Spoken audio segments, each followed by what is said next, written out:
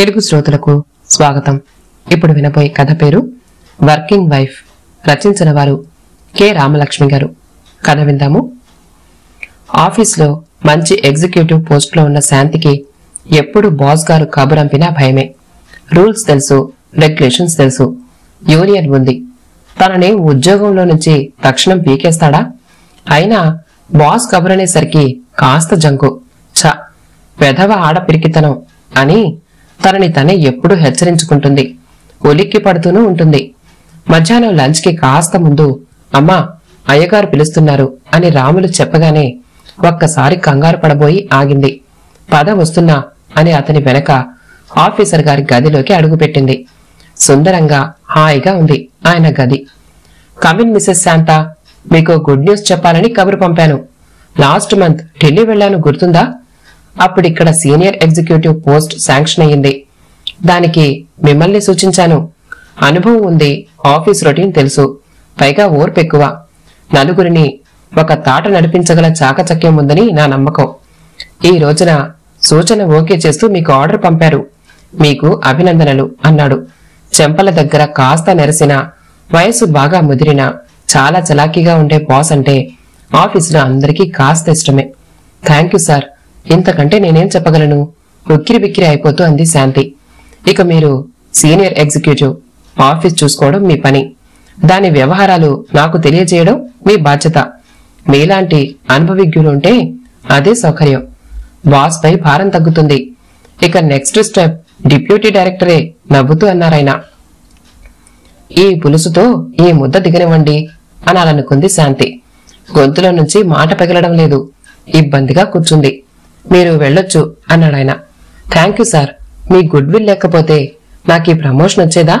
అంటూ ఎలాగో ఆ గదిలో నుంచి బయటపడింది. నుదుట ముచ్చమటలు పోశాయి. అలా వస్తున్న శాంతిని చూసి ఏమైంది? బాస్ చిల్లర పంచాడా? ఆత్రంగా కొలీగ్స్ అడిగితే నవ్వి తల అడ్డంగా ఊపింది. మరి? ప్రమోషన్ అంది. ఆ గొంతు నూతిలో నుంచి వస్తున్నట్టుగా ఉంది గాని ఉత్సాహం మురకలు వేస్తున్నట్టు లేదు. మై గాడ్ నీ వాలకం చూసి తిట్టి పంపాడనుకున్నావు. అయితే రేపు మేము ఎవ్వరూ లంచ్ తెచ్చుకోం. అది నీ వంతు. తప్పించుకోకు. మా వారు ఒప్పుకోరు అంటూ ఓ కొలీగ్ హెచ్చరించింది. అంతే. లంచ్కి ఎవరి దారిన వారు వెళ్ళారు ఈ సంగతి తక్షణం ఫోన్ చేసి కృష్ణమూర్తికి చెప్పాలని కాస్త ఆగింది శాంతి. ఫోన్ చేసి కృష్ణమూర్తి ఆఫీస్ నెంబర్ తిప్పి అలాగే ఆగిపోయింది. ఎలా చెప్పాలి? తన జీతం బాగా ఎక్కువవుతోంది. హోదా కూడా బాగా పెరుగుతోంది. కృష్ణమూర్తి జీతంతో సమంగా అయిపోవడమే కాక ఇంటి అద్దె రెలవెన్స్ బాగా పెరుగుతుంది. ఈ న్యూస్ కృష్ణమూర్తికి సంతోషం కలిగిస్తుందా? కాస్త అనుమానం తలెత్తి ఫోన్ పెట్టేసింది. చాలాసేపు దానికేసే చూస్తూ కూర్చుంది. మనసులో పెళ్ళుబికిన సంతోషం కాస్త నీరు కారిపోయినట్టయింది నిజానికి జీతం పెరిగినందుకు సంతోషించాలి. కాస్త పెద్ద ఇంట్లోకి వెళ్ళొచ్చు. మరీ డొక్కైపోయిన కారు మార్చుకోవచ్చు. ఇంకా చిన్న చిన్న సౌకర్యాలు. దశల వారీగానైనా సమకూర్చుకోవచ్చు. కాని కాని ఆలోచన ఒక కొలికి రావడం లేదు శాంతికి. అయినా ఎదుటపడి చెప్పడం కంటే ఫోన్లో చెప్పడమే కాస్త తేలికైన పని అనుకుని తిరిగి కృష్ణమూర్తి ఫోన్ నెంబర్ తిప్పింది. తక్షణం అవతల వైపు ఫోన్ ఎత్తాడు కృష్ణమూర్తి. ఫోన్ రింగ్ కావడం కోసమే వెయిట్ చేస్తున్నట్టు. ఏమండి మీకు శుభవార్త. తక్షణం చెప్పాలని కాస్త ఊపిరి బిగపట్టింది శాంతి. ఫోన్లో అవతలి వ్యక్తి ముఖం టీవీలో బొమ్మలా కనిపిస్తే ఎంత బాగుండునో కదా? అనుకుంది. తాను కనబడకుండా అతని ముఖ కవళికలు కనిపెట్టవచ్చునని కాబోలు. సాధారణంగా శాంతికి కృష్ణమూర్తి మనోభావాలు అతని ముఖం చూస్తే తెలిసిపోతాయి. ఆరేళ్ళ సంసారం తర్వాత ఆడదానికి ఆ మాత్రమైనా తెలియదా? మాట్లాడుతున్నది ఏమైనా? అతని ముఖంలో అస్సలు ఫీలింగ్స్ తెలిసిపోతాయి. చెప్పేది నచ్చితే అతగాని పెదవుల్లో ఓ విధంగా కదులుతాయి. అంతేకాదు నచ్చనిదైతే అతని కనుబొమ్మలు ఓ విధంగా వంగుతాయి. నాకు ప్రమోషన్ వచ్చింది. జీతం బాగా పెరగడమే కాదు సౌకర్యాలు కూడా. ఒక్క క్షణం పాటు నిశ్శబ్దం తర్వాత ఓ అలాగా? అన్నాడు. ఓ అలాగా అంటే ఎలా? సాయంత్రం ఇలా వచ్చి నన్ను దక్షిణ్కి తీసుకువెళ్ళాలి. ఉత్సాహంగా ఆర్డర్ వేసింది. నీ ఇష్టం ఆరు గంటలకొస్తా అంటూ ఫోన్ పెట్టేశాడు కృష్ణమూర్తి. కాసేపు ఫోన్ ఇంకా పట్టుకుని కూర్చుంది. చ ఇంటికి వెళ్ళాక చెప్పి ఉండవలసి చెప్పి ఉండవలసింది అనుకుంది. తొందరపడ్డానేమో అనిపించింది. సాయంత్రం అవుతున్న కొద్దీ శాంతిలో అశాంతి పెరిగిపోయి తుఫానులోలా కొట్టుకుంటోంది. శాంతి మనసు ఎందుకో తెలియకుండానే. భార్యకు ఇంతపాటి చిన్న అదృష్టం కలిసొస్తే కించపడతాడా భర్త? నా అనుమానం కాని అని మనసుకి నచ్చజెప్పుకుంది. అందరూ వెళ్ళిపోయారు కృష్ణమూర్తి రాక కోసం ఆఫీస్ మెట్ల మీద నిలబడి ఎదురు చూస్తుంది శాంతి. హలో ఎలా ఉంది? పై మెట్టు ఎక్కేసరికి? అంటూ కారు తలుపు తెరిచాడు కృష్ణమూర్తి. జీతం పెరగగానే సరే ట్యాక్సులు పెరుగుతాయి కదా అంటూ తలుపు కావలసిన కంటే కాస్త గట్టిగానే వేశాడు అనిపించింది శాంతికి. దారి పొడుగునా పెరిగిన బాధ్యతలు ఎలా భారం పెంచుతాయో చెప్తూ అరే నెక్స్ట్ డిప్యూటీ తర్వాత ఇక సంస్థ డైరెక్టర్ అయిపోతావు. రెండే మెట్లు పెద్ద కుర్చీకి. కాస్త తేలికగా కొట్టి పారేస్తున్నట్టు అంటున్నాడా? ఆ రెండు మెట్లు ఎక్కడానికి ఇంకో పదేళ్ళు పట్టవచ్చు అంది. తాపీగా శాంతి. ఆమె మనసు ఏవి ఆలోచిస్తుందో అర్థం కావడం లేదామెకు దక్షిణ్లో టిఫిన్ తినడం ఇప్పుడు ఫ్యాషన్. అందుకే అక్కడికి వెళదాం అంది. కాని తీరా కారు లోపలికి వెళ్ళాక తోచింది. టేబుల్ దొరకదేమో. ముందు బుక్ చేసి ఉండాలేమో. సారీ సార్ ఒక్క టేబుల్ కూడా లేదు అన్నాడు. నెత్తిన ఉన్న మూరెడు క్యాప్ వంగితే పడుతు వంగితే పడుతుందన్న భయంతో అస్సలు వంగకుండా. సరే ఏం చేస్తాం? అంటూ వెనక్కి తిరిగాడు కృష్ణమూర్తి. ఏ సీఎం ఫ్రెండ్నో పిఎం చుట్టాన్నో అన్నంత ధీమాగా వాణ్ణి గదమాయించి టేబుల్ అడిగి ఉండొచ్చు కృష్ణమూర్తి. శాంతి కాస్త ముందుకొచ్చి ఎలాగైనా ఓ టేబుల్ కావాలి మా ఇద్దరికి. మేము సెలబ్రేట్ చేసుకునేందుకని అనుకోకుండా ఈ రెస్టారెంట్కి వచ్చాము అంది. ఎంతో డిసప్పాయింట్మెంట్ను దాచుకుంటున్నట్టు Shanti. Oh just let me see అంటూ టోపీగాడు లోపలికి వెళ్ళాడు. రాయిలాంటి అతని ముఖంలో చిరునవ్వు సన్నని రేఖలు పరిచింది. ఓ పది నిమిషాల్లో వచ్చి దిస్ వే ప్లీజ్ అంటూ ఓ టేబుల్ దగ్గరికి దారి చూపించాడు. థ్యాంక్ యూ అంటూ కూర్చుంది శాంతి. కృష్ణమూర్తి కూర్చున్నాడు. కూర్చుంటూనే పర్వాలేదే అప్పుడే సీనియర్ ఎగ్జిక్యూటివ్ లా నటించడం వచ్చేసింది అన్నాడు నవ్వి. అతని నోరు మాట్లాడుతున్నా అతని కనుబొమ్మలు చిట్లించి ఉన్న తీరు అస్సలు నచ్చలేదు శాంతికి. ఏవో నేను నేరు మూసుకుని అతని వెనుక తిరిగి వెళ్ళిపోవాల్సిందేమో అనుకుంది శాంతి. మెనూ కార్డు బంగారు కుచ్చు కట్టి ఉంది.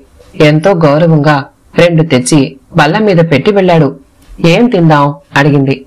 నీ పార్టీ కదా నీ ఇష్టం అన్నాడు చూస్తూనే. అబ్బా ఎన్ని రకాల దోశలు ఎన్ని రకాల చట్నీలు. కొంపతీసి దోశకి వేరు చట్నీకి వేరు బిల్లు వేయడు కదా పిసుక్కున నవ్వింది. కాస్త వాతావరణంలో గాంభీర్యం తగ్గుతుందేమోనని. ఒక్కసారి తీక్షణంగా ఆమె ముఖంలోకి చూశాడు కృష్ణమూర్తి. నాకు మసాలా దోశ చాలు అన్నాడు. ఇదేదో బనానా దోశట ఎలా ఉంటుందో చూస్తా. తైరు వడ తిందురు? వద్దు నాకు. నీకు కావలసిస్తే తిను అన్నాడు. మెనూ కార్డు బల్ల మీద పడేస్తూ. వెయిటర్ రాగానే ఆర్డర్ ఇచ్చింది. అతగాడు మెనూ కార్డులు చంక కింద పెట్టుకుని ఎంచక్కా పోయాడు. వాటికి ఉన్న బంగారు కుచ్చులు కదలాడుతూ కనిపిస్తున్నాయి. వీడి డ్రెస్సుకి ఆ కుచ్చులకి కూడా మన బిల్లులో పడిపోతుంది కదండి? లేకపోతే దోసె తొమ్మిది రూపాయలేమిటి? ఏదో మాట్లాడాలి కదా. లేకుంటే చుట్టూరా వాళ్ళు దెబ్బలాడుకుని వచ్చారనుకునే ప్రమాదం ఉంది మరి. ఈసారి ఇలాంటి చోటికి సూటేసుకు రావాలేమో. నాలాంటి మామూలు వాళ్ళని రానిచ్చెట్టు లేరిక్కడ. కాస్త వ్యంగ్యంగా అన్నాడు కృష్ణమూర్తి. వీడు దోశ ఎంతసేపటికి తెస్తాడో. త్వరగా తెస్తే బాగుండును అనుకుంది శాంతి. ఇలాంటి చోట్ల చాలా ఆలస్యం చేస్తారు. వచ్చిన వాళ్ళు కబుర్లాడుకునేందుకు వస్తారని వాళ్ళ ఉద్దేశం. కానీ మాలాంటి వాళ్ళు వస్తారని ఊహించలేరు కదా పాపం అనుకుంది. ఓ ముప్పై నిమిషాల తర్వాత కృష్ణమూర్తి దోశ శాంతి తైరువడ వచ్చాయి. మీ బనానా దోశ రెడీ అవుతోంది అన్నాడు. అదో యాగంలాగా.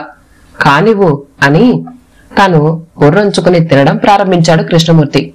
శాంతికి తైరువడ మీద తైరువడ మీద నుంచి మనసు మాయమైపోయింది. కాని ఆర్డర్ ఇచ్చాను కదా అని తినడం ప్రారంభించింది. ఓ ముక్క నోట్లో వేసుకుందో లేదో అంతా పచ్చిపిండి లోపల. అలాగే పెట్టేసింది. కృష్ణమూర్తి ఏ బాగోలేదా? అని అడుగుతాడు అనుకుంది. ఎలాగైనా వెయిటర్ దృష్టిని ఆకర్షించి పిలిచి ఇదేమిటి? అని అడుగుతాడని అడగాలని అనుకుంది. ఊహు అదేం లేదు.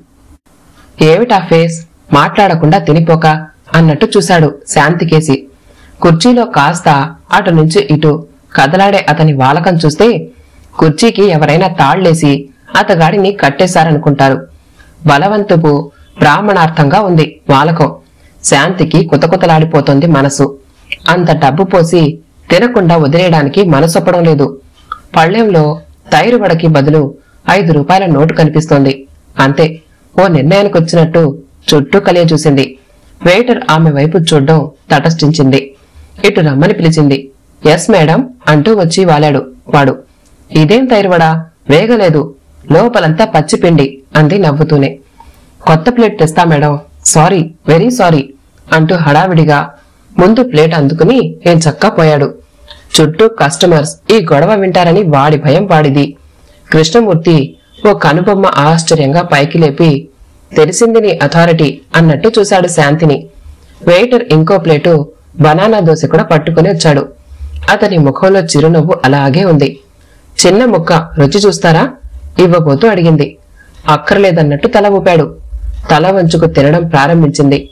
కాఫీ కూడా ముగించేసరికి ఆ వాతావరణం చాలా దట్టమైన తుఫాన్కి సూచనగా తయారయ్యింది. బిల్లిచ్చేసి బయటికి నడిచారిద్దరు. నువ్వు తోల్తావా?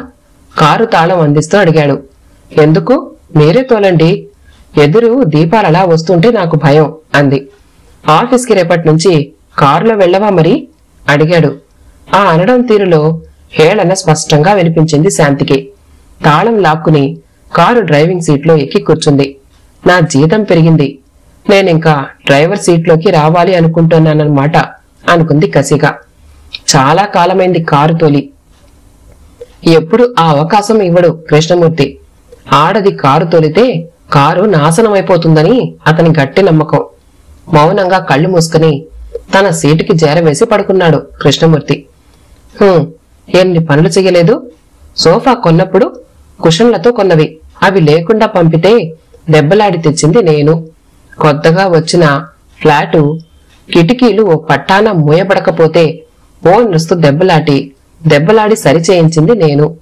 ఎక్కువ బిల్లులని పోరాడి తగ్గించేది నేను. ఎంత ఓర్వలేనితనం నాకు ప్రమోషన్ వస్తే తనకు వచ్చినట్టే కదా. తనకు వచ్చినప్పుడు నేనెంత సంతోషించాను? మర్చిపోయారా? ఏ మాత్రం సభ్యత భార్యని కనుక నా పట్ల చూపక్కర్లేదు కాబోలు. చ. ఈ మగాళ్ళింతే వారి గెలుపు వారి గెలుపే. భార్యల గెలుపు వారి గెలుపే. అందుకు భార్యలు గర్వపడకూడదు సంతోషం ప్రదర్శించకూడదు గర్వంగా ఫీల్ కాకూడదు. జీతం రాళ్ళు మాత్రం తెచ్చిపోయాలి. మండిపడుతున్న మనసుతో కారు స్పీడెక్కించింది శాంతి. కసంతా చేతిలో ఉన్న స్టీరింగ్ మీద చూపిస్తోంది. ఎంత గట్టిగా పట్టుకుందంటే వేళ్ళు నొప్పి పెట్టేంతగా. తర్వాత ఏం జరిగిందో తెలిసేసరికి కారు ల్యాంప్ పోస్టుకి కొట్టి ఆగింది. ఉలిక్కి పడి లేచాడు కృష్ణమూర్తి. ఏమైంది అంటూ. శాంతి మాట్లాడలేదు. ఇంజన్ పొగలు కక్కుతోంది. బంపర్ బాగా దెబ్బతిని ఉంటుంది. రేడియేటరు నలిగి నీళ్ళు కారిపోతూ ఉంటాయి అనుకుంటూ జవాబు చెప్పలేదు శాంతి. ఏమైంది నీకు? నీకు అసలు జన్మకి డ్రైవింగ్ రాదు అంటూ తలుపు తీసుకు దిగాడు. కారుకు తగిలిన దెబ్బలు చూడ్డానికి. నీకు కావాల్సింది అదేగా? గట్టిగా అరవాలని కారు తలుపు తెచ్చుకుని దిగి తబేరున వేసి వెనక్కి తిరిగి చూడకుండా నడిచిపోవాలని అనిపించింది శాంతికి. దిగు ఇది ఇక్కడే లాక్ చేసి ఏఏఎస్ఐకి చెప్పి వెళ్ళాలి అన్నాడు కృష్ణమూర్తి. తలుపు తెరిచి దిగి దబేలను వేసింది. ఇద్దరు పేమెంట్ మీద నిలబడ్డారు ఖాళీ ఆటో కోసం. మీకంటే ఓ రెండు రూపాయల జీతం ఎక్కువ అని? మీలా కాకుండా కాస్త మంచి మాటలతో చాకచక్యంగా పనులు సాధించగలనని? మీరు నన్నేమనుకుంటున్నారు? మగరాడినైపోయి మీలాగే సాధించి పోస్తాననుకుంటున్నారా? లేక మీలా వేరే అకౌంట్ ప్రారంభిస్తాననుకుంటున్నారా? ఏమిటి మీ ఉద్దేశం? నేను అంత సంతోషకరమైన వార్త ఏ పక్క వారికి చెప్పినా మీకంటే ఎక్కువే ఆనందించి ఉందరు. నాదే బుద్ధి తక్కువ. నా కొలీగ్స్ పంచుకున్నట్టు నా సంతోషం మీరెందుకు పంచుకుంటారు? మీరు తాళి కట్టిన వారు కదా ఎలా పంచుకుంటారు? మీకంటే చాలా విషయాల్లో నేను మెరుగే. అంత మాత్రాన? వస్తున్న దుఃఖాన్ని అదిమిపట్టి ఖాళీగా వస్తున్న ఆటోని ఆపడానికి ఓ అడుగు ముందుకేసి ఆగిపోయింది శాంతి. మీరే ఆపుకోండి లేకుంటే ఇదో గొడవ అంది కసిగా. కృష్ణమూర్తి ఆటో ఆపాడు. మీటర్ మీద రెండు రూపాయలు అంటూ వాడు మీటర్ వేశాడు. మాట్లాడకుండా ఎక్కి కూర్చుంది. ఆమె ఆమెను అనుసరించాడు కృష్ణమూర్తి. అతని మనసు ఇప్పుడు సడన్గా తేలికైనట్టు ఉంది. తన అసలు బాధ శాంతి గుర్తించినందుకు. మగవాడు నీ హోదా నాకు బాధ అని నోరు విడిచి ఎలా చెప్పగలడు? అంటూ నిట్టూర్చాడు. తిన్నగా వెళ్ళి జంక్షన్లో రైట్కి తిరుగు అని చెప్పి హాయిగా కూర్చున్నాడు కృష్ణమూర్తి. వద్దనుకున్న కళ్ళు వర్షించడం ప్రారంభించాయి శాంతికి. కథ సమాప్తమండి. కథ నచ్చితే మా ఛానల్ని లైక్ చేయండి షేర్ చేయండి సబ్స్క్రైబ్ చేసుకోండి. మళ్ళీ కలుద్దాం ఇంకో మంచి కథతో.